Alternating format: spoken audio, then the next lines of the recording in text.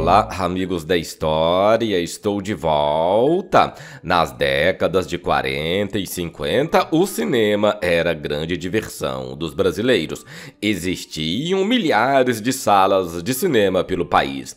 Nesta época, os filmes conhecidos como chanchadas dominavam o cenário brasileiro. Oscarito, Grande Otelo eram os astros das chanchadas. No entanto, muitas atrizes se consagraram neste gênero.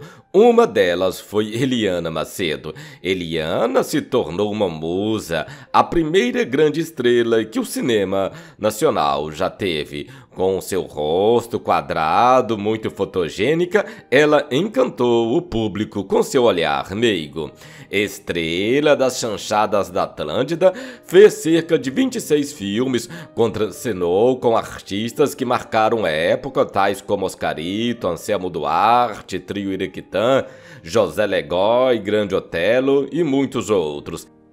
Também cantou, gravou e interpretou seus filmes, formando dupla com Adelaide Quioso cantando músicas como Pedalando, Bate o Bombo Sinfônico, Encosta Sua Cabecinha, Vem Cá Sabiá, dentre tantas outras.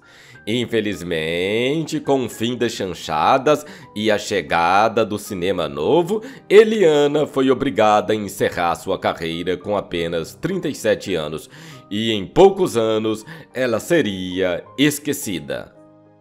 Este o vídeo de hoje, a história de Eliana Macedo, a primeira grande dama do cinema brasileiro.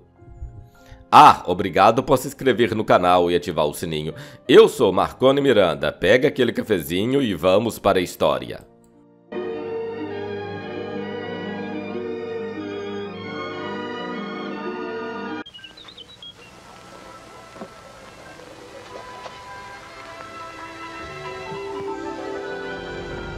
Dessemos uma volta de jipe? Impossível. Tenho fazeres a cumprir. Ah, deixa isso. Começou em 1949, pelas mãos do tio dela, Watson Macedo, um dos grandes mestres da chanchada. Eliana Macedo, nome artístico de Eli Macedo de Souza, nasceu em Itaocara, no dia 21 de setembro de 1926, Rio de Janeiro. Considerada uma das grandes estrelas do cinema nacional, foi vencedora em 1954 do Prêmio Saci, a maior condecoração das artes naquela época pelo trabalho em A Outra Face do Homem.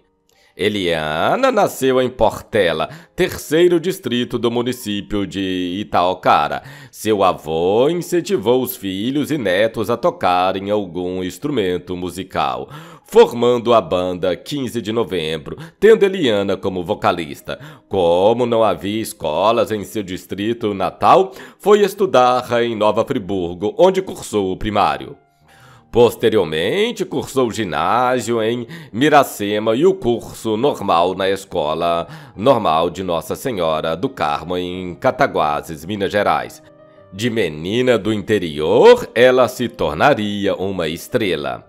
Sua primeira atuação em filmes foi E o Mundo se Diverte, de 1948, sendo dirigida por seu tio, Watson Macedo, ao lado de Carlos Manga, que foi responsável pela época áurea da Atlântida cinematográfica.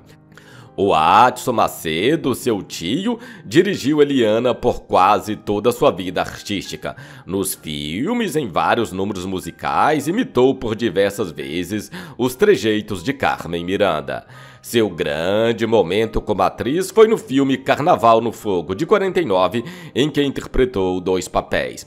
O Atson Macedo tinha preferência pelas atrizes Maria Della Costa e Cacilda Becker, mas os diretores da Atlântida impuseram Eliana e foi um sucesso estrondoso.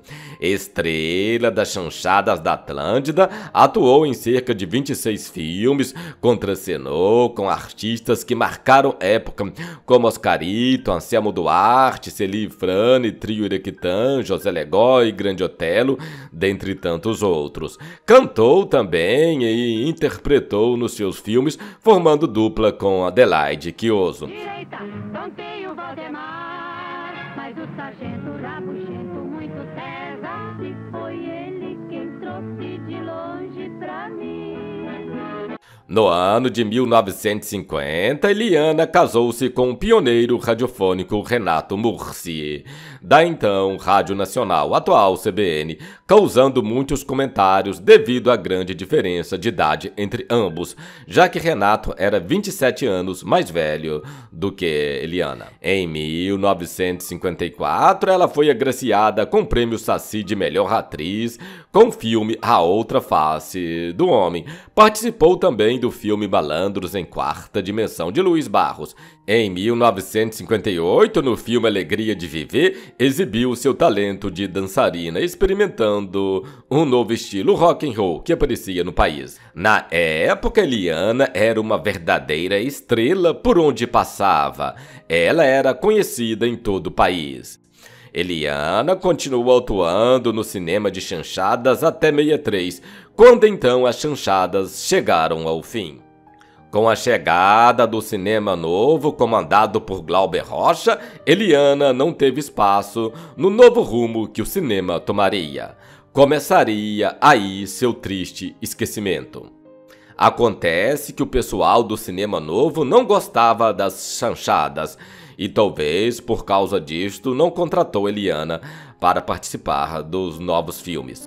Em 1979, após afastada, ainda participou da telenovela Feijão Maravilha da TV Globo. Contracenou com sua amiga de chanchadas Adelaide Quioso, quando cantaram alguns sucessos dos musicais dos filmes da Atlântida cinematográfica.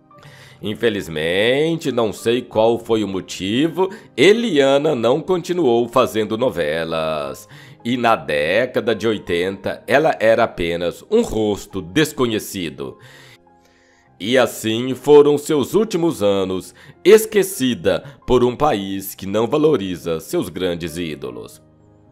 Eliana Macedo, a rainha das chanchadas, ou melhor, a princesa das chanchadas, veio a falecer no dia 18 de julho de 1990, no Rio de Janeiro, vítima de um infarto aos 63 anos de idade. Completamente esquecida por um Brasil que não valoriza seus grandes ídolos. Na verdade, sua maior morte foi ainda em vida, já que na década de 80 ela era apenas um rosto desconhecido.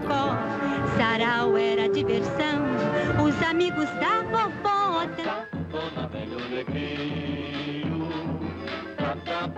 Apareceu uma chance e eu não quero perder.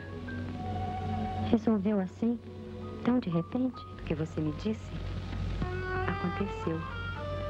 Olha, você até que é muito legal. Legal ou não, já é tempo de você mudar de vida. É bom.